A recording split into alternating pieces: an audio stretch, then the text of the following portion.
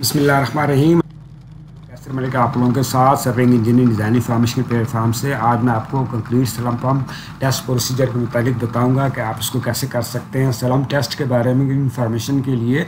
सबसे पहला अगर आपका वेरी लो है सलम तो उसकी वैल्यू ज़ीरो से लेकर ट्वेंटी फाइव एम एम तक होगी। लो वैल्यू ट्वेंटी फाइव से फिफ्टी एम एम तक, मीडियम वैल्यू आपकी फिफ्टी से लेकर हंड्रेड एम एम और हाई जो आपका होएगा वो हंड्रेड से लेकर one seventy five M M तक उसकी वैल्यूज़ होएँगी इसकी पूरी डिटेल आपको अपने स्पेसिफिकेशन या टेंडर डॉक्यूमेंट्स के अंदर पूरी की पूरी प्रोवाइड की गई होती है। मुख्तलिफ़ किस्म के स्लम टेस्ट के मतलब मिनिमम कितना होएगा? तो आए हम इसका सैंपल लेते हैं और उसको बताते हैं आपको कि आप इसको कैसे करेंगे। ये हम व्हील बारों के अंदर कंक्रीट स्लम टेस्ट के लिए मटेरियल ट्रांजिट मिक्सर के साथ ले रहे हैं। आपने इसका हर बैच का, हर गाड़ी का आपने स्लम टेस्ट करना होता है, उसको आपने चेक करना होता है। उसके बाद आप कंक्रीट अलाउ करते हैं। अगर आपका स्लम क्लैप्स करता है या कुछ करता है तो वो आपका, उसकी मैं अलहदा से आपको वीडियो बना के पूरी डिटेल में बताऊँगा कि आप उसको कैसे करेंगे। तो ये आपकी कौन और नीचे प्लेट इसको आपने, इसके अंदर हमने स्लम टेस्ट को करना है। इसका मुख्तलिफ़ साइज़ इसके स्टैंडर्ड साइज़ के मुताबिक इसका जो ऊपर वाला डाया है, वो टेन सेंटीमीटर होता है और नीचे वाला डाया इसका ट्वेंटी सेंटीमीटर और इसकी हाइट कौन की? थर्टी सेंटीमीटर तक होती है। तो ये एक स्टैंडर्ड इसका कौन का साइज़ आएगा? यही हर जगह के ऊपर इस्तेमाल होता है और इंटरव्यू के अंदर भी जब आपसे ये क्वेश्चन पूछा जाता है तो आपने यही डायमेंशंस उनके अंदर बतानी है, इनको नोट कर लें। मेरा चैनल ज़रूर सब्सक्राइब वीडियो को लाइक ज़रूर कीजिए। ये देखें, ये सैंपल हमने इधर साइड पे मंगवा लिया है ट्रांसलेट मिक्सर के साथ। हमने उधर से सैंपल लेके तो ये हमारे पास ओपन कौन है, इसको आपने फिक्स कर देना है दोनों साइडों के ऊपर, इसके पावर रख के ताकि ये हिले ना और उसके ऊपर आपने मटेरियल को फिल करना है चार लेयर्स के अंदर। चार लेयर्स के अंदर बराबर बराबर टाइम आपने करना है थर्टी सेंटीमीटर इसकी लेंथ होती है, आपने मटीरियल की जो चारों लेयर्स बनानी है, वो इक्वली बनानी है। तो सबसे पहले आप पहली लेयर इसके करेंगे और करने के बाद आप इसको आगे हैमरिंग करेंगे तो ये मैं आपको बताता हूँ, आपने इक्वली तरीके से इसको इसी तरीके से करना है। इसको करने के बाद आपने हैमर इसके अंदर राड जो आपके पास होएगा, उसको आपने इसके अंदर 25 टाइम्स आपने उसके अंदर मारना है इसके अंदर हमरिंग करनी है और उसका चीज़ का ख्याल रखना है कि ये आपके बॉटम के अंदर ना जाए। 25 टाइम्स आपने ये करने के बाद आपने इसकी नेक्स्ट लेयर इसके ऊपर ले करनी है। सेम टू सेम उसी तरीके से, उसी मकदार के अंदर। तो या हमने पहले भी इसके दो पोर्ट डाले थे तो अभी आप नेक्स्ट टाइम पे भी हम इसको करते हैं उसी तरीके से करने के बाद आपने इसके अंदर हैमरिंग करनी है और आपके पास अगर ये ओपन कोन है जो डिस्टर्ब होती है, उसका ख्याल रखना है कि ये डिस्टर्ब ना हो। उसके बाद आपने दोबारा ट्वेंटी टाइम्स इसके अंदर इस रॉड को मारना है और उसका ख्याल रखना है कि ये नीचे, ये आपका रॉड ना लगे। तो आपने इसी तरीके से इसको करना है ट्वेंटी फाइव टाइम्स और उसके बाद थर्ड लेयर आपने इसके ऊपर ले करनी है, इसका पोर करना है, इसका कंक्रीट को उसके अंदर डालना है आपने इसी तरीके से। तो मेरे चैनल को ज़रूर सब्सक्राइब करें और वीडियो को लाइक ज़रूर करें। तो इसी तरीके से ये आपने इसके अंदर नेक्स्ट लेयर थर्ड लेयर हम इसके अंदर डाल रहे हैं कंक्रीट की। इसको आपने इसके अंदर ले करना है पोर करना है करने के बाद आपने इसकी हैमरिंग करनी है उसी तरीके से।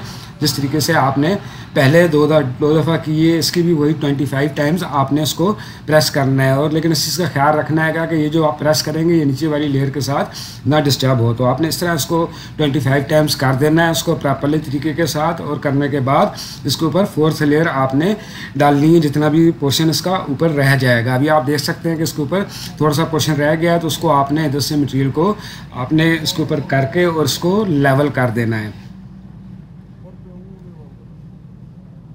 ये आप देख सकते हैं कि ऊपर आपके ऊपर हमने ले डाली है इसको आप राड के साथ ही बराबर कर दें।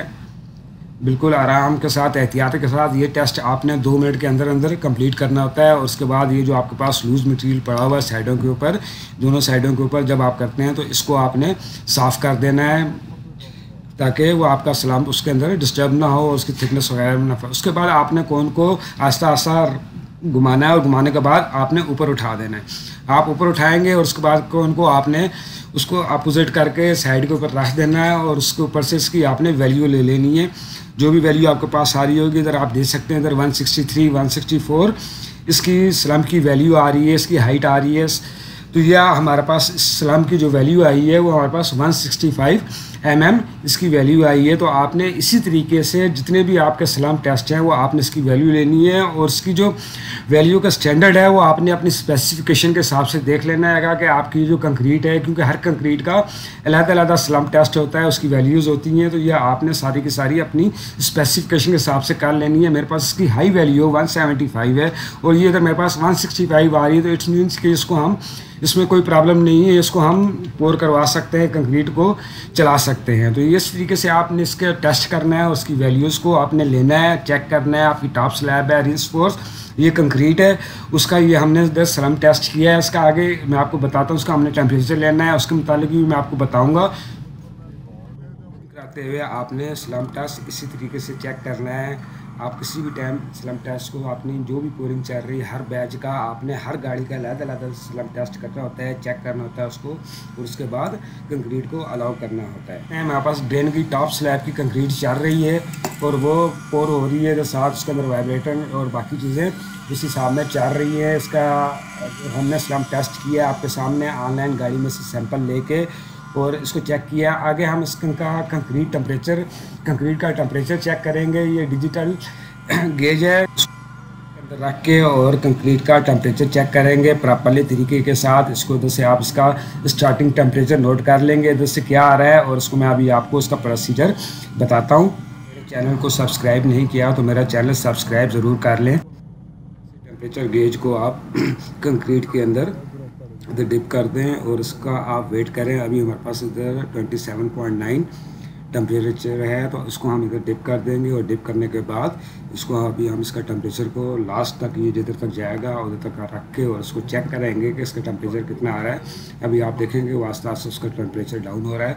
और जितना भी ये लास्ट तक इसका टेम्परेचर जाएगा, वो आपने इधर से नोट कर लेना है। मौसम चूँकि अभी इधर हमारे पास बेहतर है तो इसलिए ज़्यादा प्रॉब्लम नहीं है। गर्मियों में ज़्यादा प्रॉब्लम होती है इसकी तो ये भी आप देखेंगे कि टेम्परेचर गेज आस्ता आस्ता वो डाउन होती जा रही है। और ये जब तक इसने रुक नहीं जाना टेम्परेचर में टेम्परेचर गेज ने, आपने उसका टेम्परेचर इधर से नोट करते जाना है। तो ये भी आप देख लें twenty one point seven twenty one point eight ये 21.6 तो ये अभी आप रखेंगे इसके अंदर एक मिनट, डेढ़ मिनट तक तो ये आपका टेम्परेचर आपको इधर से आज का फाइनल आ जाएगा। अभी इधर 21.5 के अंदर ये हमारे पास रुक गया है तो मतलब है कि हमारे पास 21.4 या 21.5 यहाँ पास कंक्रीट का टेम्परेचर आ रहा है, ये टेम्परेचर आपने नोट कर लेना है और अपनी स्पेसिफिकेशन के हिसाब से, अपनी स्लैब थिकनेस के हिसाब से, जो टेम्परेचर आपका डिज़ाइन मिक्स के हिसाब से है, उसको आपने इधर से चेक कर लेना है और उसके बाद आपने अलाउ करना है। तो इस तरह स्लम टेस्ट और टेम्परेचर के मुतालिक बताया। उम्मीद है यूज़फुल वीडियो है, आपको पसंद आई होगी। आपने इसी तरीके से स्लम टेस्ट करना है साइड के ऊपर और कंक्रीट के टेम्परेचर वगैरह चेक कर लेना है। ये कंक्रीट हमारी चल रही है, इसकी वीडियो आप देख सकते हैं आगे। टॉप स्लैब की वीडियो है। इसकी पोरिंग हो रही है इधर हमारे पास। वीडियो का एंड तक देखें इतमान के साथ देखें और इसकी वैल्यूज़ वगैरह, इसके प्रोसीजर को आप देखें। उम्मीद है ये वीडियो आपको देखने के बाद सलाम टेस्ट के मुतालिक समझ आ जाएगी कि आपने सलाम टेस्ट को कैसे करना है। मेरा चैनल को ज़रूर सब्सक्राइब कीजिए और मेरी वीडियोस को लाइक ज़रूर कीजिए, मेरे चैनल का विज़िट करें। उसके अंदर आपको इंजीनियरिंग के मतलब हर किस्म की इंफॉर्मेटिव वीडियोस मिलेंगी। आपको एक्सेल के फार्मूलाज इंजीनियर के स्टील के सर्वेइंग के क्रॉस सेक्शन के, हर चीज़ आपको मेरे चैनल के अंदर मिलेगी। आपको बहुत यूज़फुल वो वीडियोज़ हैं। उनके साथ उनके लिंक्स भी एक्सेल की फाइल्स के फार्मूला के वो मौजूद हैं। आप उसके डिस्क्रिप्शन में जाएँ वीडियोज़ की वीडियोज़ को देखें और उधर से उसके लिंक्स को कापी करें और कापी लिंक्स को आप डाउनलोड करें और उनको आप देख के फार्मूलाज को दोबारा बनाएँ।